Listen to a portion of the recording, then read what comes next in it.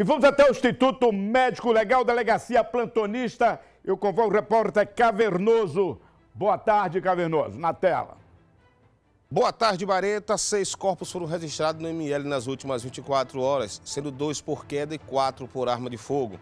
Primeiro caso que chamou a atenção, em Riachão do Dantas, Abraão Souza Santos, de 30 anos de idade. A vítima estava chegando na residência no povoado Tanque Novo com a família quando dois elementos apareceram armados e ele tentou ainda correr, mas ele acabou sendo alvejado e falecendo no local. No loteamento Manuel Preto, um jovem conhecido por Itabaiana ele foi assassinado por vários tiros em via pública. Alain de Jesus Santos, ele foi encontrado morto a tiros lá na Piabeta, em Nossa Senhora do Socorro.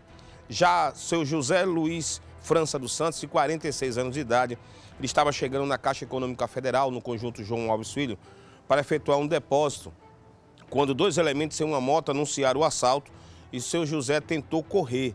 Ele foi atingido, mesmo ferido, ele correu para dentro do banco. Os elementos desceram da moto, foram lá, pegaram o malote que ele iria fazer o depósito e ainda realizaram um disparo na cabeça. É bom lembrar que ele estava fazendo esse, esse depósito para uma empresa que ele já trabalhava há muito tempo.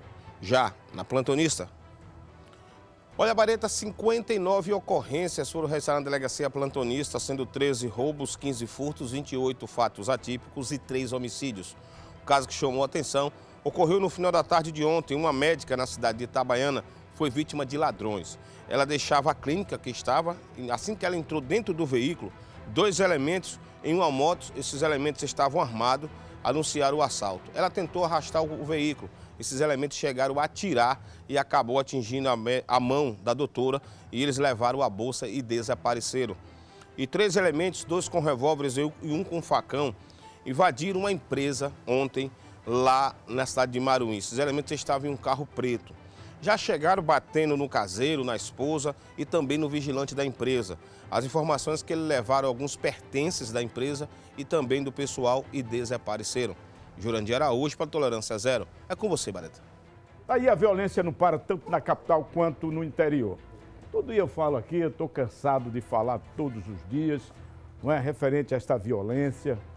Aí uns, uns criticam a polícia, a falta de segurança pública, não é? Eu critico a quem deveria estar botando tudo na cadeia, que a polícia aprende quem tranca é as leis. O número de criminalidade desse país aumentou muito por causa das leis.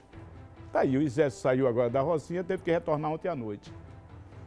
Não tem três dias, quatro dias que eles saíram, uma semana que eles saíram da Rocinha e tiveram que retornar. Por quê? Porque os caras não estão mais ligando nada. Eu digo aqui todos, os caras não estão mais ligando nada. Os caras não respeitam mais leis, não respeitam mais a polícia, não respeitam mais ninguém. E para bandido só tem uma conversa. Quando ele reagir, é bala nele, no lombo dele, manda tudo pro capeta mais cedo. É uma guerra, nós estamos vivendo uma guerra civil. Bandido conversa aos homens de bem. E o homem de bem não pode perder para bandido, nem o Estado pode perder para bandido. Temos que ter uma definição dura enfrentamento a esses caras, duramente. Alguns órgãos ficam querendo proteger, leva para tua casa. Quem está morrendo é um homem de bem.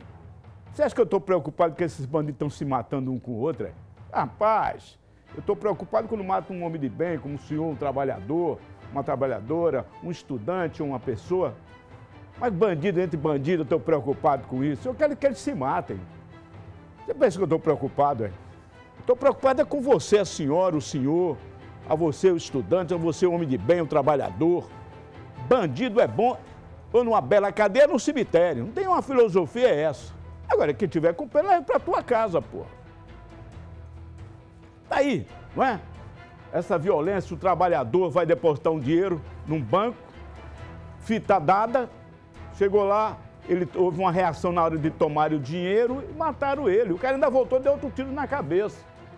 E não tem. Não, não, é fita dada, minha gente. É fita dada. E o fuleiro que fez isso é da redondeza, conhecia todo o esquema. Só que tem uma coisa, a polícia está investigando, o melhor que eu digo a ele, se ele estiver me assistindo agora, ou a família dele, que ele se entregue. Porque se ele tiver qualquer reação, ele cai na bala. Não tenha dúvida. O que ele executou será executado também. Do jeito que ele executou, ele será executado se houver qualquer reação contra a prisão dele. Então o melhor que você faz é que você se entregue. Porque ou cedo ou mais tarde nós já sabemos quem foi. Acabou. É problema de horas, né, governador? De chegar nele, é horas. É momento. Ele pode se esconder debaixo da saia da velha, que a gente levanta a saia e puxa ele. Filosofia boa é essa. Bandido é bom quando ele toma numa testa e vai pro capeta. Quem tiver culpando, leva pra tua casa, pô. Ah, que rapaz violento, que homem violento. Violento o caceta que não foi da tua família ainda. Não é? Paga o funeral dele, tá com pena, né? Paga o funeral dele, pô. História é essa, ninguém aguenta mais, rapaz. Hein? Por que aquela deputada lá não paga o funeral dele? Que protege os bandidos? Não é? Por quê? Ela não vai lá, protege. Igual ela tá cheio por aqui também. Tá com pena? Paga o funeral dele, paga a missa de sétimo dia dele. Vamos trabalhar. Coitado, um pai de família vai levar um dedo no banco e volta no caixão. Que é isso, porra? Onde é que nós estamos? E fica por isso mesmo, é? E titicar, ah, que nada, rapaz. Era bom que ele tivesse um filho brabo. Que macaco tem que saber onde se atreva. Com um doido tem que ter um doido meio. Hein? Para um doido tem que ter um doido e meio. Para um fuleiro, um fuleiro e meio. Só quem está morrendo é o trabalhador, é um homem de bem. Quando se mata um quatro, cinco fuleiros desses de uma vez, alguns órgãos ficam preocupados. Paga o funeral dele e a missa de sétimo dia. Coitado do cidadão. Cadê? Apareceu alguém lá, os direitos humanos, lá pro velho, não? Hein? Deixou filhos. Ah, quando morre dois bandidos, o que aparece de alguém para defender, paga o funeral do suleiro. E se tiver alguém reagiu contra a polícia, é na bala.